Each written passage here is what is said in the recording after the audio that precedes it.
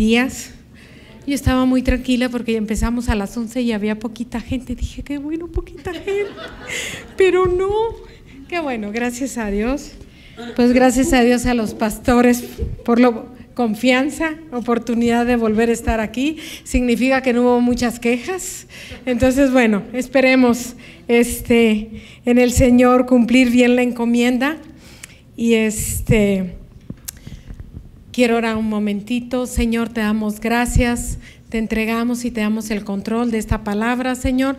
Que de veras sea de bendición, que la podamos poner en práctica para que nuestra vida crezca en ti, Señor, para que podamos ser transformados a la imagen y semejanza y estatura del varón perfecto, nuestro modelo, que es Jesucristo. Te doy gracias, Señor, que sea una buena semilla en los corazones nuevos, que se siembre para que dé fruto y los que ya tenemos semilla sembrada, palabra, Señor, que crezcamos más y seamos más fructíferos que de lo que hemos hecho hasta ahora, Señor. Gracias te damos en el nombre de Cristo Jesús. Amén. Muy bien. Este, si alguien trae Biblia, o iPod o algún aparatito electrónico donde podamos, les vamos a, lo voy a hacer diferente. Fui mucho tiempo maestra, entonces va a ser como clase. El capítulo se llama Eliseo sana a Naamán. Y dice el uno, Naamán, jefe del ejército del rey de Siria, era un hombre de mucho prestigio y gozaba del favor de su rey, porque por medio de él el Señor le había dado victorias a su país. Era un soldado valiente, pero estaba enfermo de lepra. En cierta ocasión los sirios que salían a merodear capturaron a una muchacha israelita y la hicieron criada de la esposa de Naamán. Un día la muchacha le dijo a su ama, ojalá el amo fuera a ver al profeta que hay en Samaria, porque él lo sanaría de su lepra. Naamán fue a contarle al rey lo que la muchacha israelita había dicho. El rey de Siria le respondió, bien, puedes ir, yo le mandaré una carta al rey de Israel. Y así Namán se fue llevando treinta mil monedas de plata, seis mil monedas de oro y diez mil y diez mudas de ropa. La carta que le llevó al rey de Israel decía, cuando te llegue esta carta verás que el portador es Naamán, uno de mis oficiales. Te lo envío para que lo sanes de su lepra. Al leer la carta, el rey de Israel se rasgó las vestiduras y exclamó, ¿y acaso soy Dios capaz de dar vida o muerte para que este tipo me pida sanar a un leproso? Fíjense bien que me está buscando pleito. Cuando Eliseo, hombre de Dios, se enteró de que el rey de Israel se había rasgado las vestiduras, le envió este mensaje. ¿Por qué está su majestad tan molesto? Mándeme usted a ese hombre para que sepa que hay profeta en Israel. Así que Naamán, con sus caballos y sus carros, fue a la casa de Eliseo y se detuvo ante la puerta. Entonces Eliseo vio un mensajero a que le dijera, ve y zambúllete siete veces en el río Jordán, así tu piel sanará y quedarás limpio. Naamán se enfureció y se fue, quejándose. Yo creí que el profeta saldría a recibirme personalmente para invocar el nombre del Señor su Dios y que con un movimiento de la mano me sanaría de la lepra. ¿Acaso los ríos de Damasco, el Habaná y el farfar no son mejores que toda el agua de Israel? ¿Acaso no podría zambullirme en ellos y quedar limpio? Furioso se dio media vuelta y se marchó. Entonces sus criados se le acercaron para aconsejarle, Señor, si el profeta le hubiera mandado hacer algo complicado, ¿usted no le habría hecho caso? Con más razón si lo único que le dice a usted es que se zambulla y así quedará limpio. Así que Namán bajó al Jordán y se sumergió siete veces según se lo había ordenado el hombre de Dios. Y su piel se volvió como la de un niño y quedó limpio. Luego Naamán volvió con todos sus acompañantes y presentándose ante el hombre de Dios le dijo, Ahora reconozco que no hay Dios en todo el mundo, sino solo en Israel. les ruego a usted aceptar un regalo de su servidor. Pero Eliseo respondió, tan cierto como vive el Señor, a quien yo sirvo, que no voy a aceptar nada. Y por más que insistió Naamán, Eliseo no accedió. En ese caso persistió Naamán, permítame usted llevarme dos cargas de esta tierra, ya que de aquí en adelante su servidor no va a ofrecerle holocaustos ni sacrificios a ningún otro Dios, sino solo al Señor. Y cuando mi Señor el Rey vaya a adorar en el templo de Rimón y se apoye en mi brazo, y yo me vea obligado a inclinarme allí, desde ahora ruego al Señor que me perdone por inclinarme en este templo. Puedes irte en paz, respondió Eliseo. ¿Alguien, recuerda, ¿alguien recordaba el pasaje de Namán? Sí, ¿verdad? Pues hay mucha enseñanza en ello. Y nos han enseñado mucho con este pasaje, hablar del, orgullo, de toda esta situación con Namán. Pero yo creo que hay que rascarle un poquito y ver un poco más allá. Y por eso titulé nuestra herencia. Y me van a decir, ¿qué tiene que ver con Amán? Yo creo todo. Nos puede enseñar mucho qué es nuestra herencia, cuál es nuestra herencia. ¿Y qué es una herencia? Pues algo que nos dejan nuestros padres o alguna persona, generalmente nuestros padres, ¿verdad? Pero puede ser un tío, hasta una persona ajena que llega y eres parte de su vida y te da algo. ¿Y cómo haces y cómo sabemos qué es la herencia? Porque nos llega un papel que se le llamamos testamento donde dice los deseos de esa persona para ti. Te reconoce como alguien querido, como el hijo, y dice esto es legalmente lo que yo le voy a dejar a Claudia por ser tan amable y traerme flores todos los domingos, entonces le voy a dejar esto. ¿Sí? Y así, y, y todos tenemos una herencia, a veces la herencia no la roban, ¿sí? Y eso pasó con la humanidad cuando Adán y Eva salieron de el paraíso, perdieron su herencia divina. ¿Sí? ¿Por qué? Porque Dios tenía algo, un propósito muy especial para ellos y se perdió por haber pecado. Pero Dios tenía un plan perfecto y es cuando ese era el Antiguo Testamento y en el Nuevo Testamento tenemos un Nuevo Testamento, una nueva herencia y quién nos dio esa nueva herencia? Jesucristo. Jesucristo bajó al infierno y recogió las llaves y recogió nuestra herencia y nos la trajo. ¿Sí?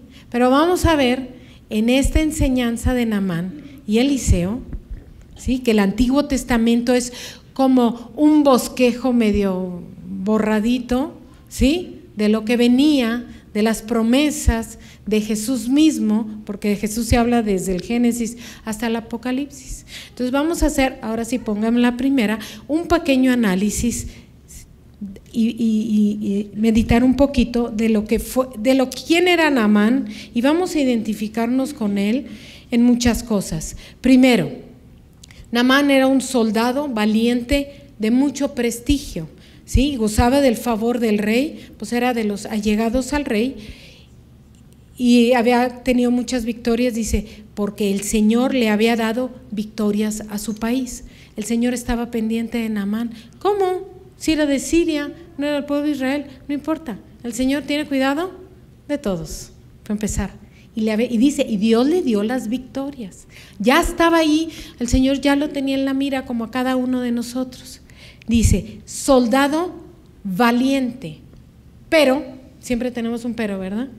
No, ese no era Namán, ¿eh? Ahorita me lo pongo.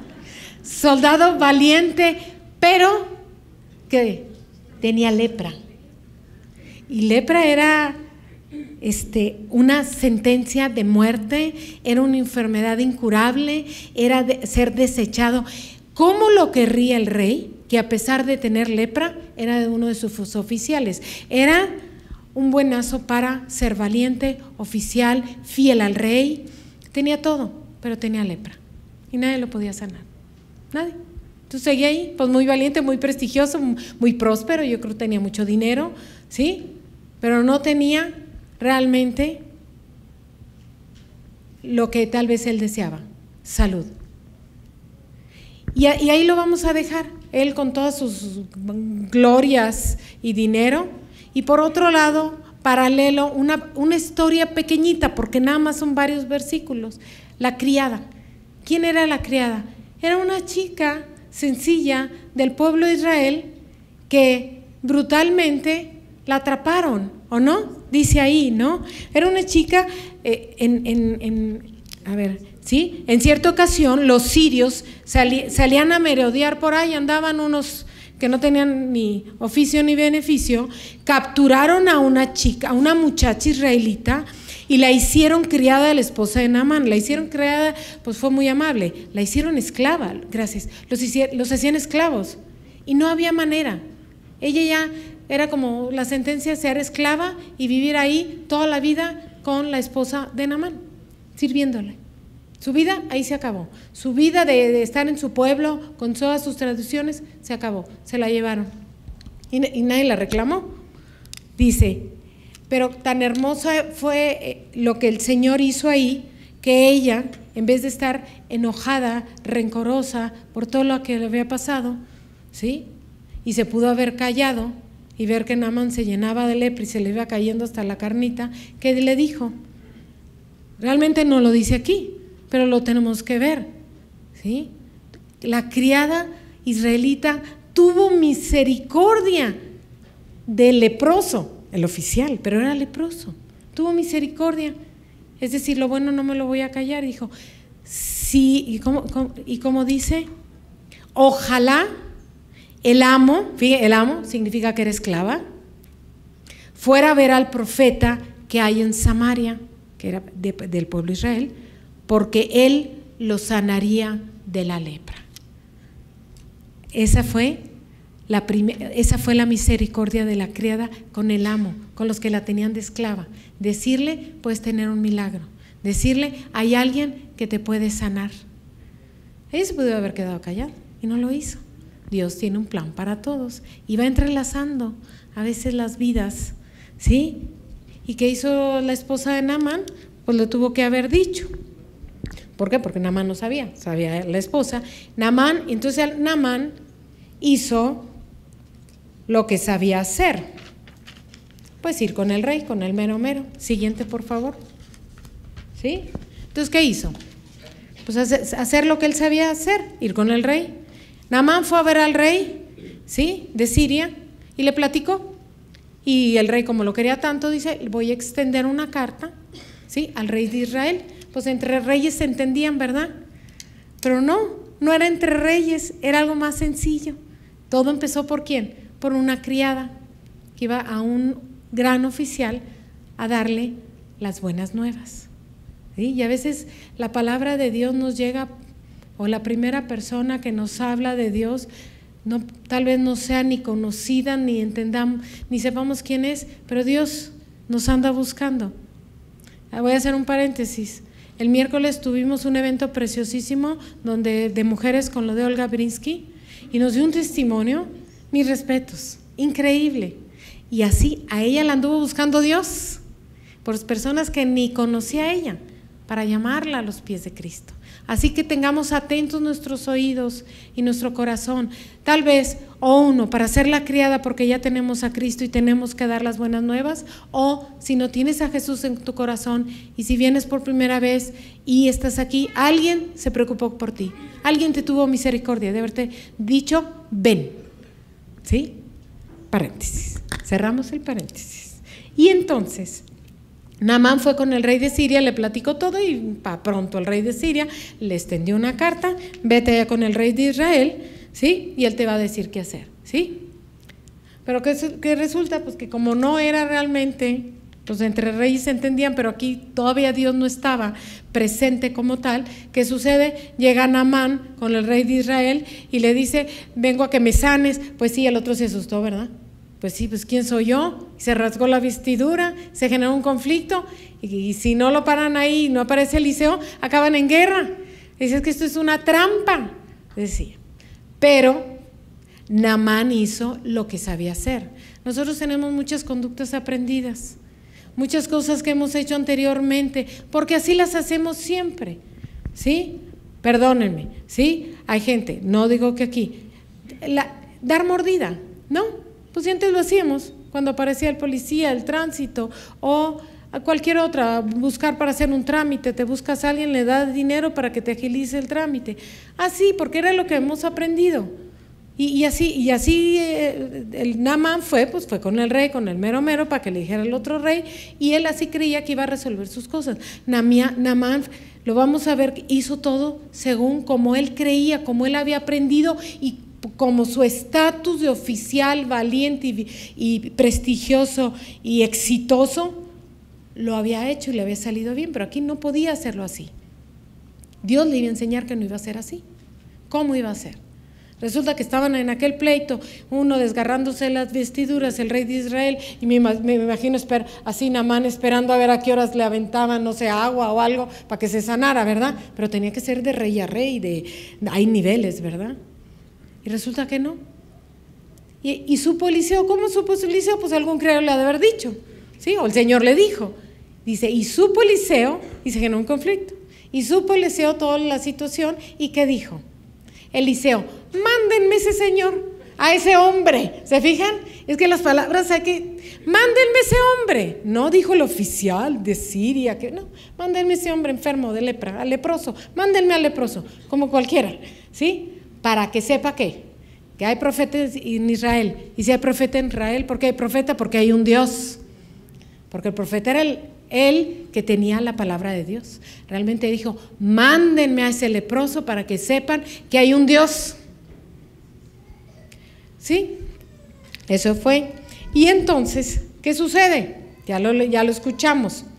¿Sí? Se va a Namán, o sea, tiene que salir del palacio porque Eliseo no estaba en el palacio, me imagino que estaba en algún lugar sencillo. Esas son ideas mías, ¿eh? No, no lo dice la Biblia, ¿eh? Entonces, llega ahí, siguiente por favor, ¿sí? Imagínenselo, ¿sí? Namán no iba a ir solito ahí, sencillito, ¿no? Dicen que llevaba pues los costales con ropa, con dinero, con todo.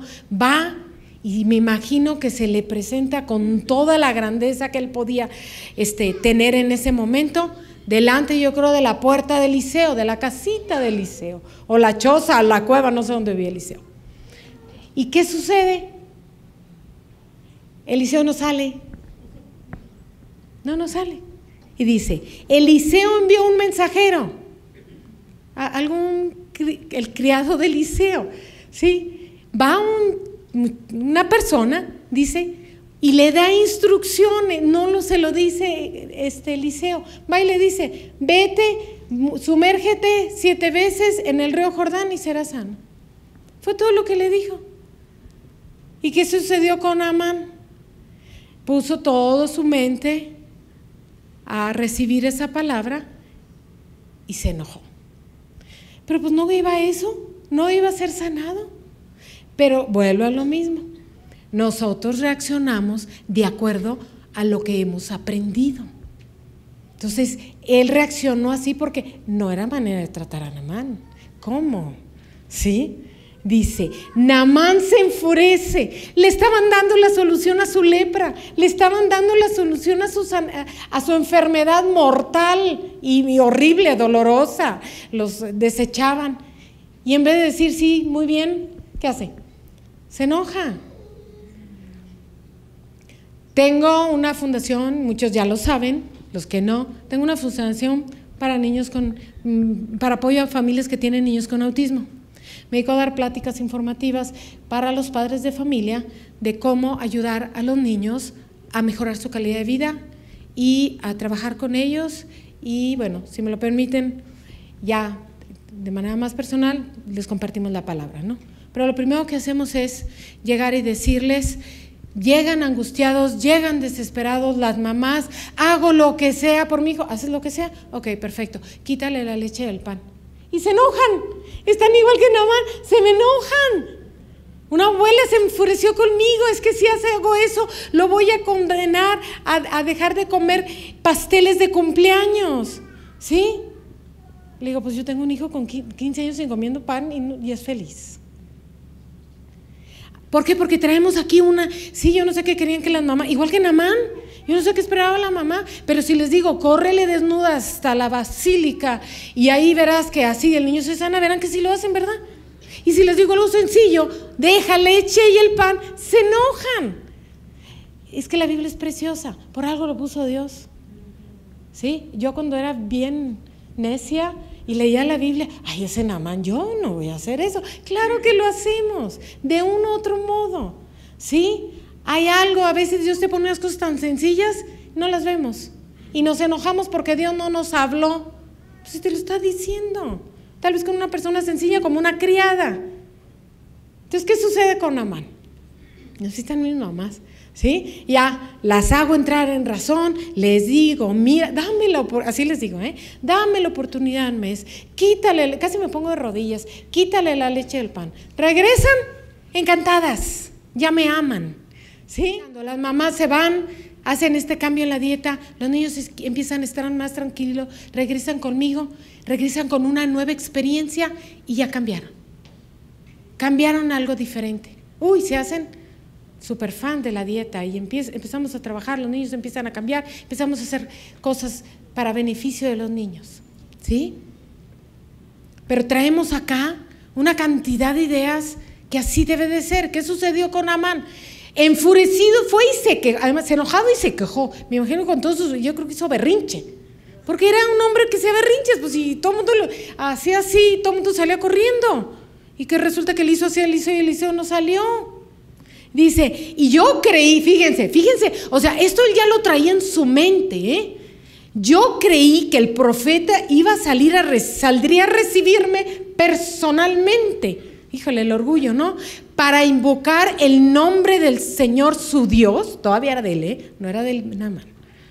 Y que con un movimiento de la mano me sanaría la lepra. Dios de mi vida. Pero pues ¿quién le dijo eso? Nadie.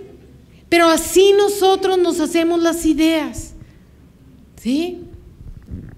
El testimonio de Pepe. Bendito sea Dios que fue obediente ah, es que yo creía que Dios me iba a dar, este, me iba a dar una campanita, iba a ir ahí a sentarme y me iba a salir el mero, mero jefe de donde fue. Y no, claro que sí, papá. Pepe, pásele a conseguir su trabajo. Pues no, ¿verdad? El Señor lo puso a hacer otra cosa. Así está aquí. Nos enfurecemos, no nos enojamos, nos quejamos y nos cerramos a qué? A la bendición, al plan de Dios que tiene para nosotros. En vez de ser sencillos y, y a veces que vivimos en un mundo tan complejo, ¿verdad? ¿Sí? Que todo se nos hace complejo y tiene que ser complejo, ¿verdad? ¿Sí?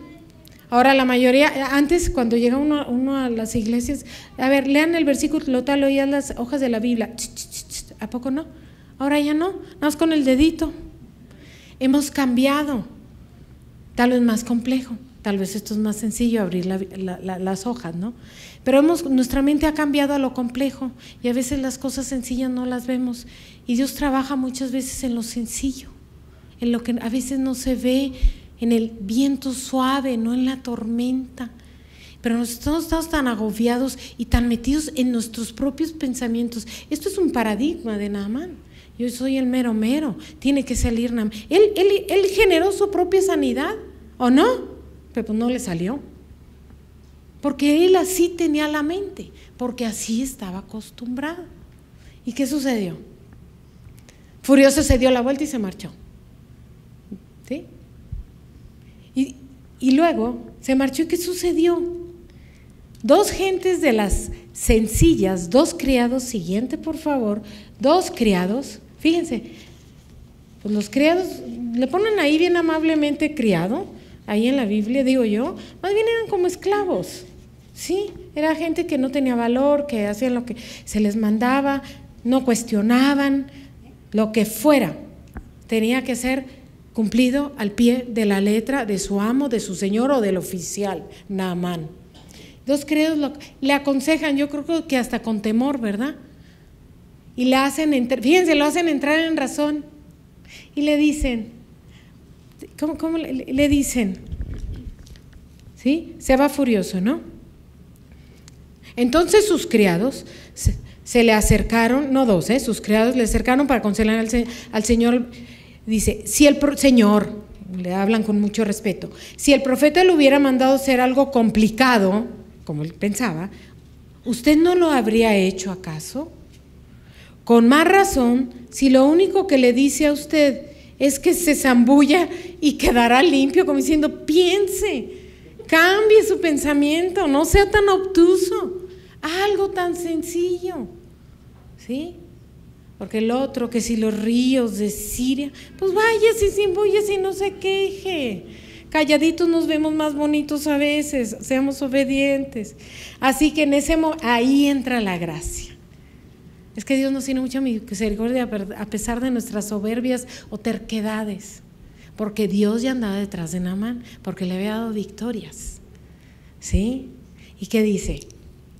En ese momento entra la gracia él recibe a bien la palabra de sus criados. ¿Sí? ¿Quién es un criado? En aquel tiempo no valían ni un peso. Así que Naamán baja al Jordán y se sumergió siete veces según le había ordenado el hombre de Dios. Ahí logró una nueva experiencia. Ahí encontró la gracia de Dios. Ahí empezó a cambiar su mente. ¿Sí? Todavía no ha recibido su herencia. No se, les olvide la herencia. Luego, ya que se bañó y salió limpio, ¿qué hizo? ¿Se fue? No, porque era un hombre dentro de, tenía un corazón bueno, con todos sus soberbias, había bondad en su corazón, porque pudo haberse ido, salido e irse a Siria. dice, dice, se sumergió y su piel se volvió como la de un niño y quedó totalmente limpio. ¿sí? La lepra no es así como que una rosadura, un salpullido pequeño. La lepra es algo espantoso, ¿sí? Se va comiendo la carne, se quedan los huesos, es algo terrible, putefacto, espantoso.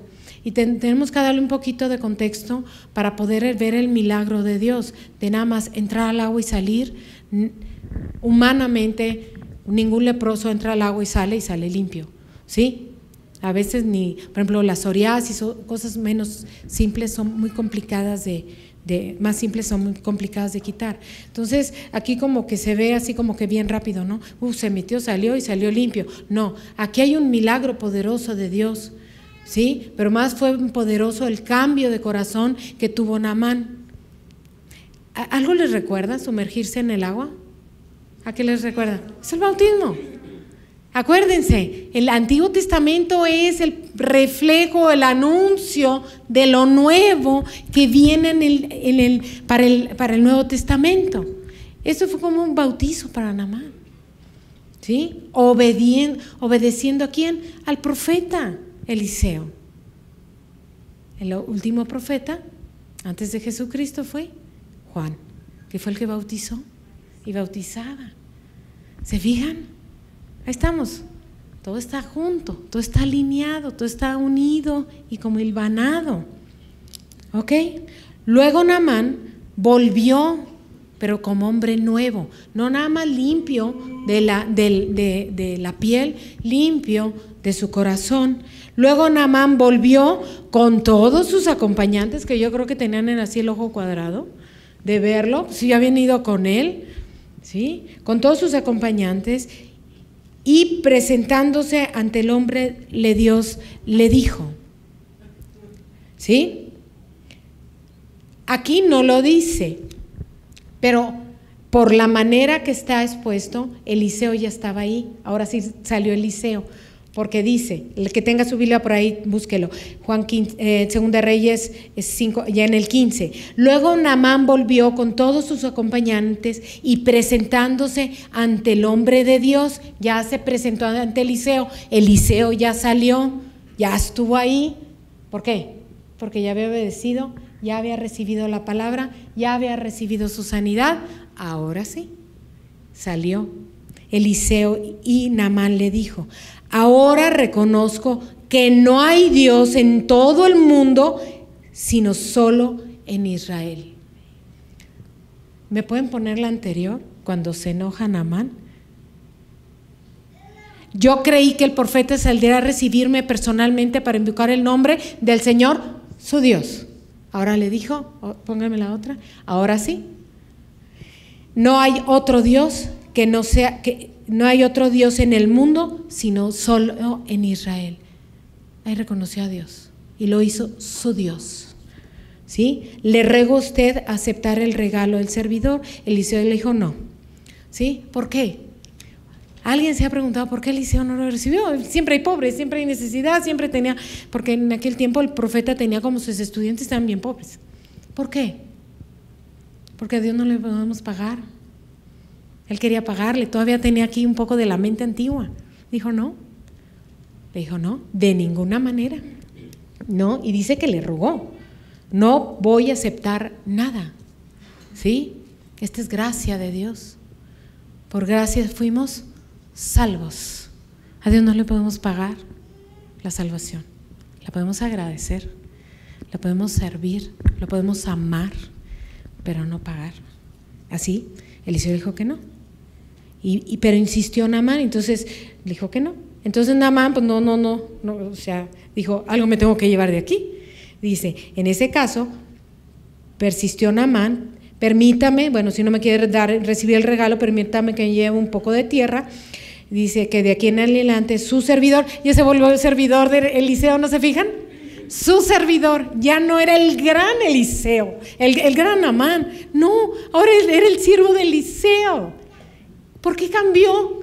Porque se sumergió en el agua, porque encontró la gracia abajo, ¿sí? Y se convirtió en otro hombre y era siervo de Eliseo, no el gran Namán leproso, era un siervo sano, un siervo limpio. ¿sí? y le entró una convicción de temor de Dios tan tremenda. Es impresionante, ¿eh? porque miren, dice, ya de aquí en adelante su servidor no va a ofrecerle holocaustos ni sacrificios a ningún Dios, sino solo al Señor. ¡Wow! Así, ¿sí? Se dio cuenta, reconoció que solo a Dios se le puede honrar y adorar. Dice, y le dijo, y cuando, pero sabía su posición, sabía su realidad. Dice, y cuando mi señor el rey vaya a adorar en el templo del, dios Rimón y se apoye en mi brazo, porque eran era sus oficiales, y yo me vea obligado a inclinarme ahí, desde ahora ruego al Señor me perdone. Qué revelación tan tremenda, ¿no? Namán, bueno, como microondas Entró, salió, reconoció, se volvió siervo y tuvo temor de Dios. Híjole, y a veces pasamos 30 años, 15 años, 10 años y como que no, nos faltó meternos más al agua, más adentro, ¿sí? Para tener temor de Dios. Dice, me obligó a inclinarme, ahí le robo al Señor que me perdone para inclinarme en ese templo. ¿Y qué fue lo último que le dijo Eliseo? Puedes irte en paz. Namán recibió sanidad física, le quitaron la lepra, ¿sí? Recibió un cambio en su mente, en su corazón, recibió gracia y recibió para toda su vida, ¿qué? La paz. Y la paz no es la que tenemos, es la paz que el mundo no entiende, ¿sí? Y en el hebreo es shalom, y shalom implica un bienestar completo completito. ¿Sí? Y en ese bienestar, y así Dios nos quiere con nosotros. Y, y Namán cambió para toda su vida. No, no necesitan decirnos más. Se fue. Bien bendecido. Y, pero ¿qué pasa con nosotros? ¿Qué pasa? ¿Qué, ¿Qué podemos entender nosotros de la historia de Namán? Que podemos cambiar al 100, que Dios nos quiere en paz, que Dios nos quiere sanos, ¿sí? Y Dios nos quiere sus hijos, ¿sí? Namán valoró al mil por ciento haber tenido esa experiencia con Eliseo, por eso volvió siervo. Y a veces nosotros tenemos que entender, valorar y aprender, ¿sí? Lo que, ¿sí? Realmente significa la salvación. ¿Sí? Todos, ¿sí? Hemos oído la salvación, Jesucristo vino a salvarnos, ¿sí? pero va más allá de nada más salvarnos de que de la muerte, del pecado. Dios no, no, era completo así. Dios quería que fuéramos salvos, pero que también fuéramos llamados sus hijos. ¿Para qué? Porque Él nos quería dar una herencia, nos quería dar un nuevo, una nueva herencia. Hay un nuevo testamento para cada uno de nosotros. ¿Sí? Y esa nueva herencia es legal. Y esa nueva herencia va más allá de que no me voy a ir al infierno cuando me muera.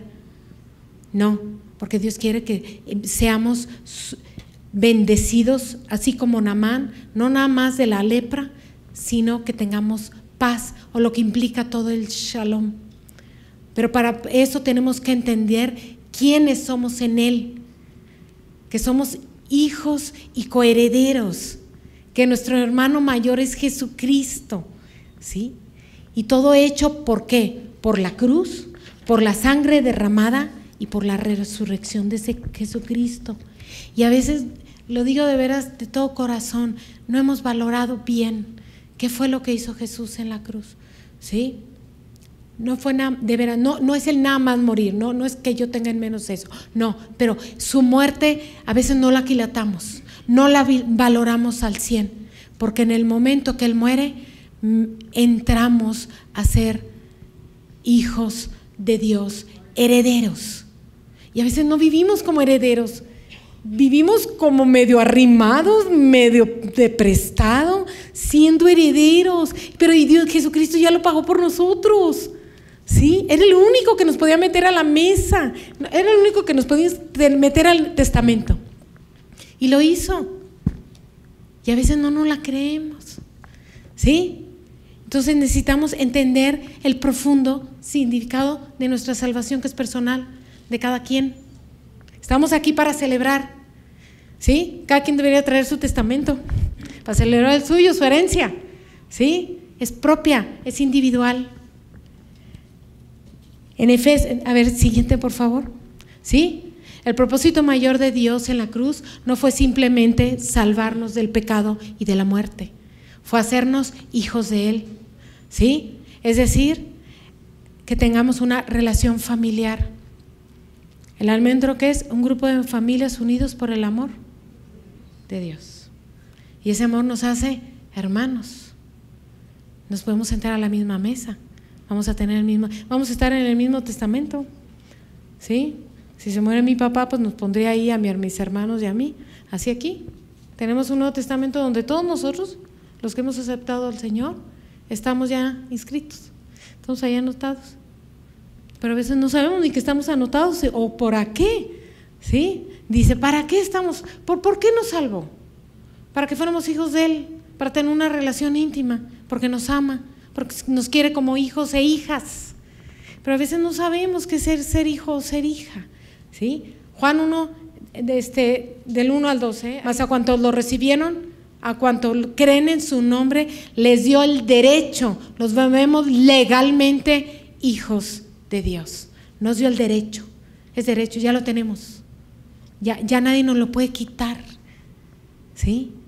A Namán ya nadie le pudo haber quitado su sanidad y su paz.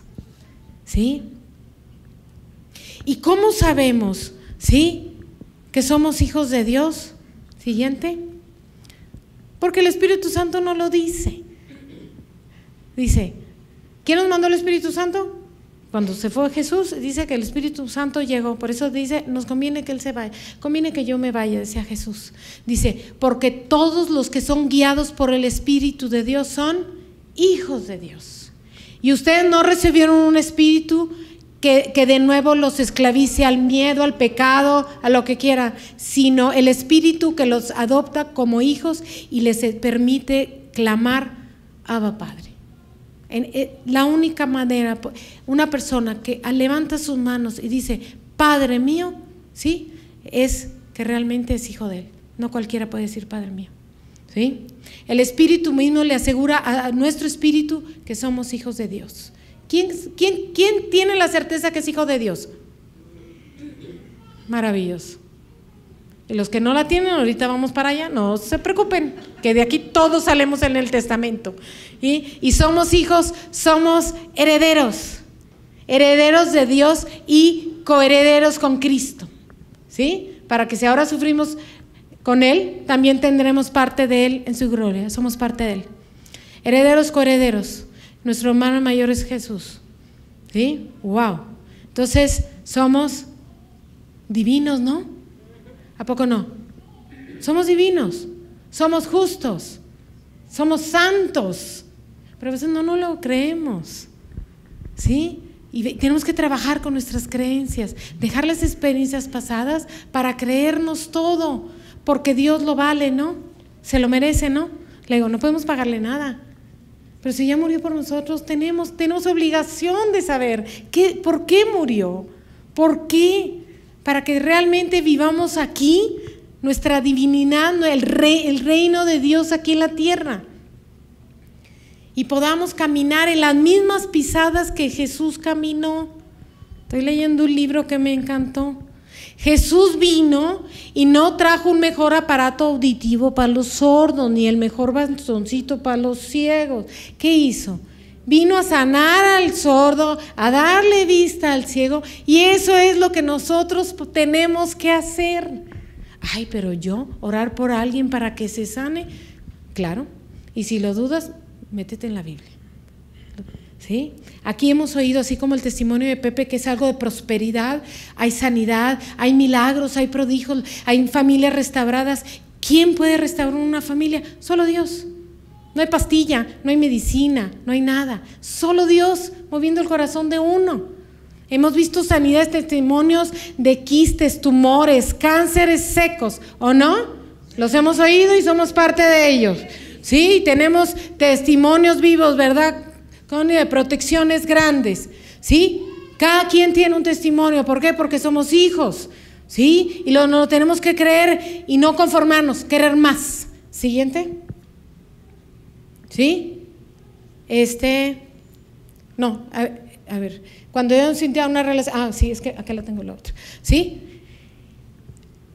O sea, el ir creciendo, ¿cómo sabemos que nosotros vamos como mejorando o, uniéndonos más o teniendo una relación más estrecha con nuestro Señor Salvador? Porque nos vamos, vamos cambiando, vamos transformándonos, ¿sí? Y se nos va quitando lo enojón, lo furioso como Anamán, ¿verdad? Yo el mero mero. ¿Y cómo acabó? De siervo, ¿sí? Antes no sé, cada quien piense cómo era su naturaleza, los mecha corta. Dios nos da una mecha más larga, aguantamos más. ¿Sí? Los intolerantes, pues ahora ya pueden respirar hasta 10, nos va cambiando. ¿Sí? Si no te gustaban las bromas como a mí, ya hasta las bromas te cambian, ya hago bromas. ¿Sí? No, miren, mi padre murió cuando yo, yo lo vi morir, cuando yo tenía iba para 13 años, ¿sí? Y no, no, me di cuenta, o sea, la vida pasó y yo cada vez que me pasaba algo malo, ¿sí? Como cualquiera que le pasan cosas, yo decía, si mi papá viviera, no me estaría pasando esto. Y me casé, acepté al mismo tiempo a Cristo y yo seguía con mis pensamientos antiguos y me pasaron cosas, nos llegó un ciclón, perdimos todo, salí en lancha como los damnificados. O sea, cada cosa que me pasaba así, que yo la sentía demasiado violenta en mi vida, decía, si mi papá viviera, no me pasaría esto. Era casi inconsciente, hasta que un día Dios me cacheteó. Le estaba faltando el respeto. Y, que, y me lo dijo. Acaba yo de soltar la palabra y el Señor en mi corazón me dice, ¿Y quién soy yo en ti? ¿Que no tienes papá? ¿Que soy para ti? ¿Que no eres mi hija? Caí de rodillas, lloré, pedí perdón. Vino una llenura del Espíritu tanto, tan suave. Lloré lloré lloré lloré. Y me levanté. Y desde ese momento puedo decir la palabra papá, porque no la podía decir, no salía. Y a mis hijos, ya tenía a Samuel, ya tenía y a Marcos. ¿Sí? ya los tenía. Y, eh, sí, todavía no nací Andrés, ¿sí? Empecé a decirles, papito, ¿cómo estás? Papacito. Antes no me podía decir. Ahí me di cuenta que Dios me sanó. Ahí me dio cuenta que Dios me quitó esas malas experiencias que había tenido y me puso, por eso dice, yo lo entiendo, fue vivido en mí, el Espíritu Santo te pone la palabra, va Padre, te la pone para que la digas. En ese momento Dios me quitó mi orfandad porque yo no se la había entregado, yo la seguía rumiando, porque yo no había creído todo lo que era ser hija de Dios, yo no había creído en mi herencia, había creído en mi salvación, pero no en mi herencia como hija. Y me cambió la vida. Créanme, me cambió el entender la palabra. Cada vez que decía hijo, yo, yo decía en voz alta, hija. Me la fui apropiando me la fui apropiando y me la fui creyendo y haciéndole creer a mi corazón y a mi mente que yo era una hija y que tenía un padre. ¿Sí? Y no volví más, no volvió más. Y han pasado cosas bien difíciles, pero yo sé que tengo un padre que me cuida, me protege, ¿sí? Y que tengo herencia. Porque aquí entre nos, mi herencia terrenal me la quitaron mis hermanos, dos hombres. Y me quedé sin herencia. Pero Dios me dio una nueva herencia perfecta, completa, eterna. ¿Sí? Dios suple todo, Dios nos cambia el lamento en baile, Dios nos quita la orfandad y nos da paternidad. Y si tuviste un papá que no fue lo mejor que tú querías y que te hizo, perdónalo. Por el amor de Dios, por ti misma, porque tienes un padre que nunca te va a lastimar ni nunca te va a defraudar. ¿Sí? Así es. Sí, ya nuestros padres terrenales y uno como padre comete un chorro de errores. Pero tenemos un padre que nunca. Y aunque tenga 50 años, tengo padre. Sí, o 100 años tendremos padre. Los que lleguemos a los 100. Espero llegar a los 100. Sí, esperemos que lleguemos todos a 100. Sí, yo le digo al Señor, yo como Moisés, Señor. Dame unos añitos. ¿Sí? Porque a los que Dios conoció de antemano también los predestinó a ser que transformados según la imagen de su Hijo, nuestro hermano mayor, Jesucristo. ¿Cómo yo sé que cada día me acerco más a mi Padre? ¿Por qué? Porque soy, cada día soy transformada a la imagen de Jesucristo. ¿Cómo? Cambiando mi manera de ser, mi manera de hablar, mi manera de actuar. ¿Sí? Y esto es hermosísimo porque somos hechura suya, Dios así como con aguja e hilo, Dios somos hechura suya, creados en Cristo Jesús para buenas obras, las cuales dispuso de antemano, ¿sí? En la otra versión dice, a fin para que caminésemos en ellas, ¿sí? O para que las pongamos en práctica. ¿Sí? Pero las buenas obras no son nada más ir a dar, ¿sí? Siguiente, comida al hambriento, vestir al desnudo. Eso sí, lo tenemos que hacer y es muy fácil hacerlo. A eso realmente son actos de bondad y todos lo podemos hacer, tengamos al Señor o no. Esos son actos de bondad y los tenemos que hacer, ¿eh? Pero no nos detengamos ahí a que latemos más lo que Dios nos dio, a que litemos más esa herencia, ¿sí? Seamos más parecidos a nuestro hermano Jesucristo. Dice, ciertamente les aseguro que el que cree en mí, habla Jesús, las obras que yo hago también Él las hará. Ciertamente, no hay duda, las vamos a hacer esas obras y aún las hará mayores. ¡Wow! ¡Qué reto, ¿no? Pues empecemos a llegarle un poquito a los talones, ¿no?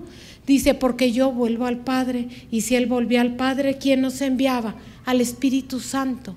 Estamos empoderados en Cristo. ¿Para qué? Para hacer milagros, señales y prodigios.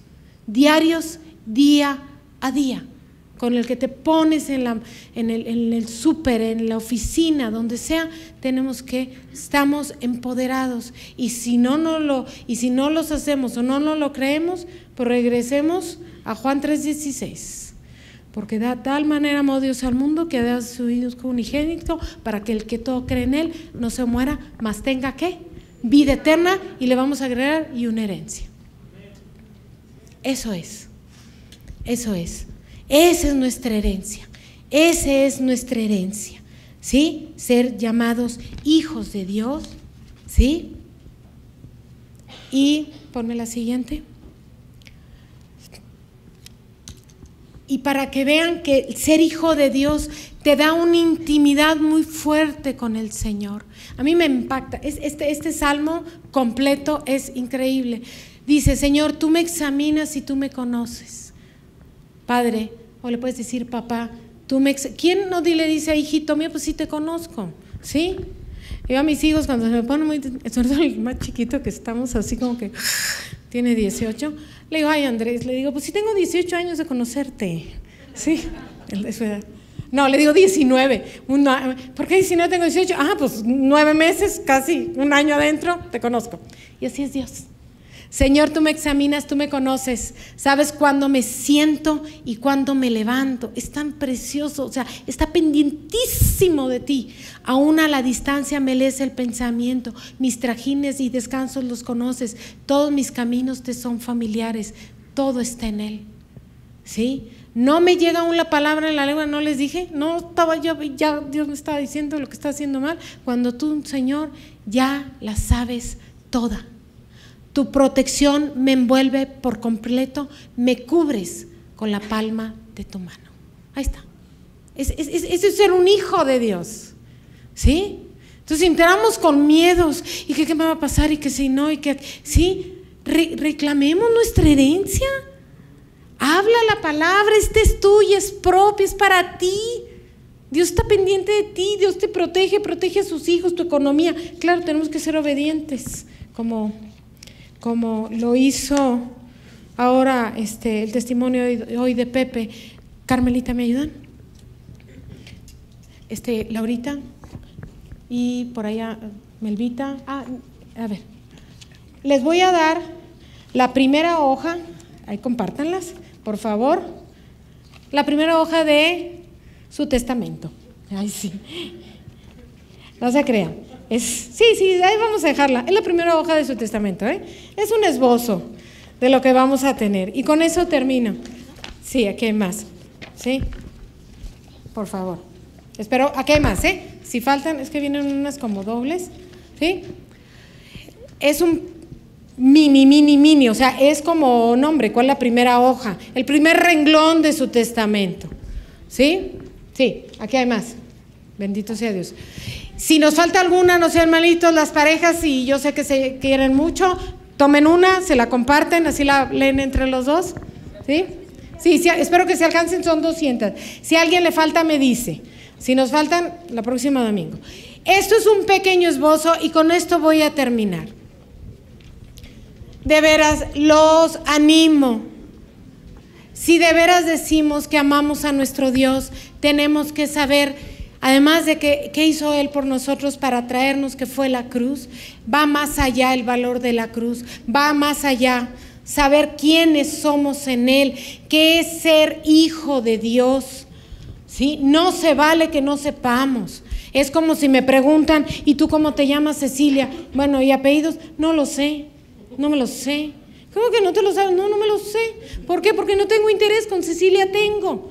No, tengo dos apellidos. Padre y madre, tengo padres. ¿Sí? Así es, aquí. ¿Sabes que tú eres la sal de la tierra? ¿Sabes que eres la luz del mundo? ¿Sabes que eres hijo e hija de Dios? ¿Sabes que eres amigo de Dios? Escogido para llevar fruto, para caminar en, en buenas obras. Si eres siervo de Dios, coheredero con Cristo. Si eres coheredero, eres divino. Estás sentado en lugares celestiales. Eres real sacerdocio. Sí, eres sacerdote, eres escogido, ciudadano del cielo, tenemos doble nacionalidad, para el que no lo sepa.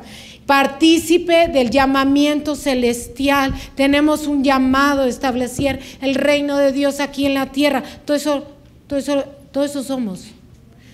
Y de veras que Dios nos encuentre en el, el, día que nos toque, el momento que nos toque encontrarnos con Él, que de veras nos diga, buen siervo y fiel entra en el gozo de tu Señor.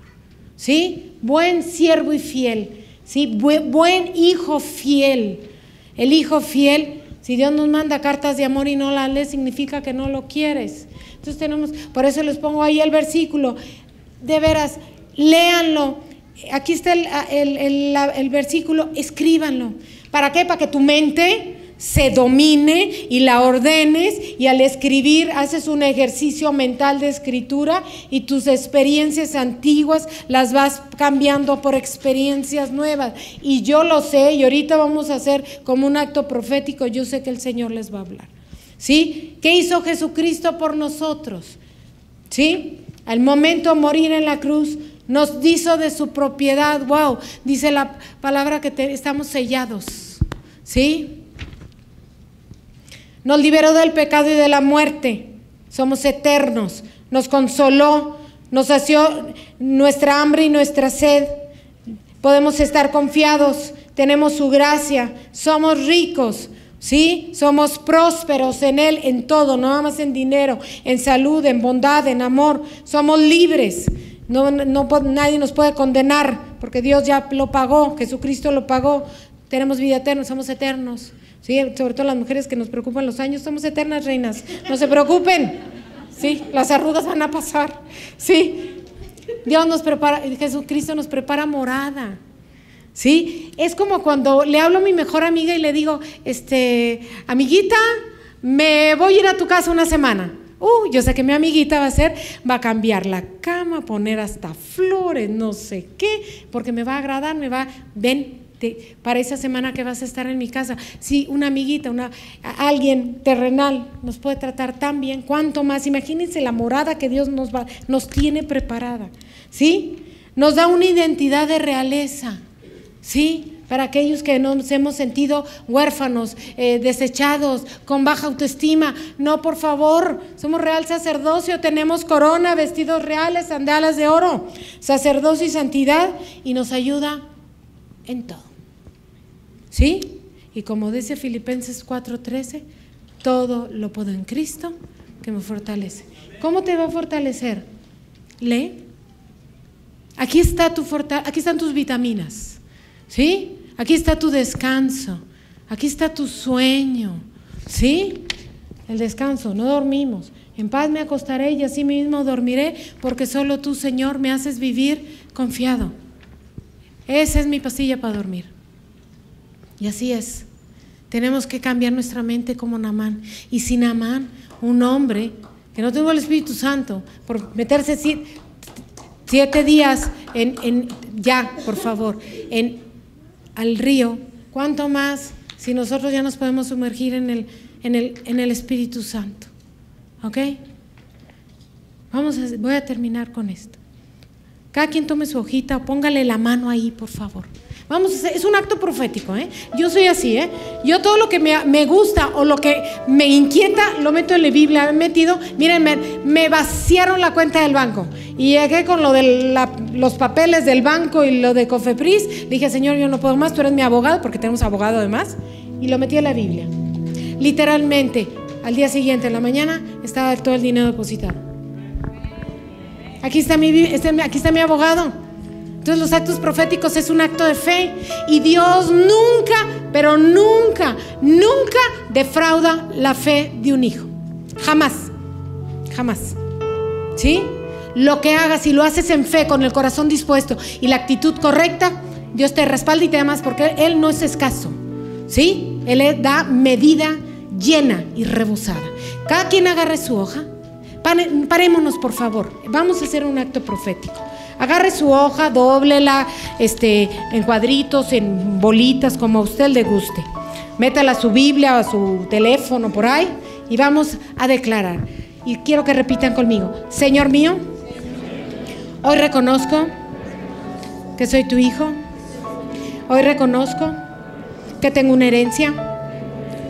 Porque Jesucristo murió por mí para salvarme y poderme y, permitirme ser llamado hijo de tuyo.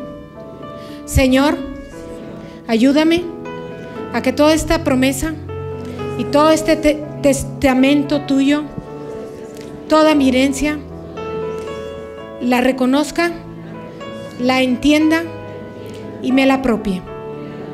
Que esta palabra, que estas promesas sean vívidas en mí, carne en mí, y que con ellas pueda dar las buenas nuevas al que no lo tiene, para que sea llamado también hijo tuyo. Te pido perdón si en algunos momentos se me ha olvidado o lo he tenido en menos ser hijo tuyo. Perdóname de corazón que el Espíritu Santo me rederguya, me instruya, me empodere para ser heredero real en tu reino. Gracias Señor, en el nombre de Jesús. Muy bien. Por último, si hay alguien, pueden sentarse por favor.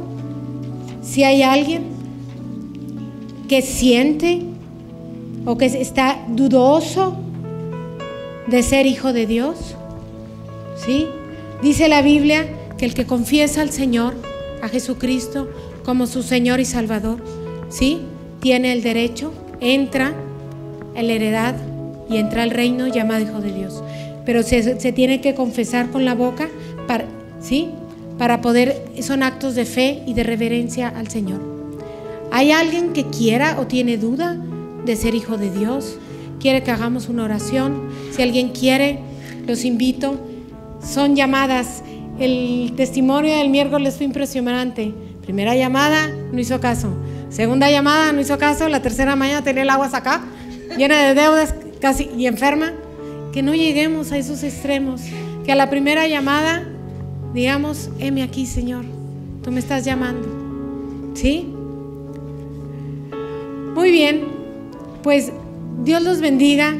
Doy gracias por este tiempo y de veras yo estoy llena, ¿eh? llena del Espíritu Santo ahorita.